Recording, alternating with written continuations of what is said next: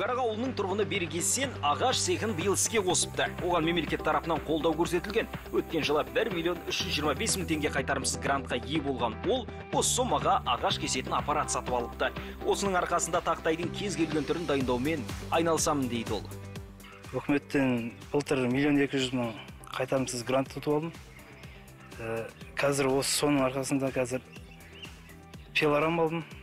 Ағаш тіліп елдердің шарбақтағы жарамсыз ағаштарды кесіп әкетіп соны тіліп жарамды материал қылып шығарып жатырмын.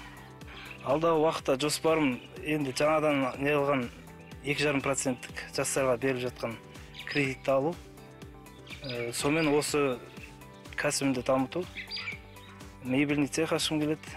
Таза отандық өнімдер істегім келеді. Қазір ауылдық жерлердің өзінде құрылыс жұмыстары қарқын алған. Бірі баспана салса енді бірі аулаларын қоршап қоржайларын қалпына келтіріп жатыр.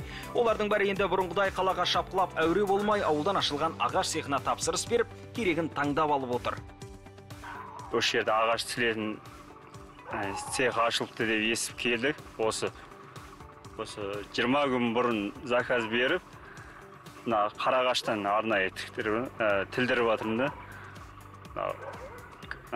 Качествосы мықты дегеннен осы жерге заказ беріп ә, 30-да 4 былай 30 қалыңдығы 4 ә, малдың астына бордақылағанға.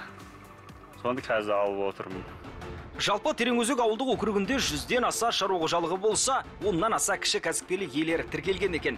Олардың ішінде өз өнімдерін шығаратындар да тұрғындарға түрлі қызмет көрсететін орындар да бар. Соңғы кездері үкімет тарапынан көмек көп болған сайын кәсіпкерлердің де қатары арта түсті дейді ауыл әкімі.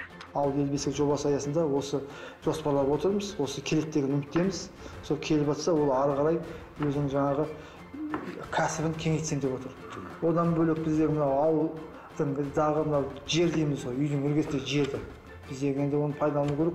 Міне осындай шағын бизнес өкілдерінің арқасында ауыл ажарланып келеді.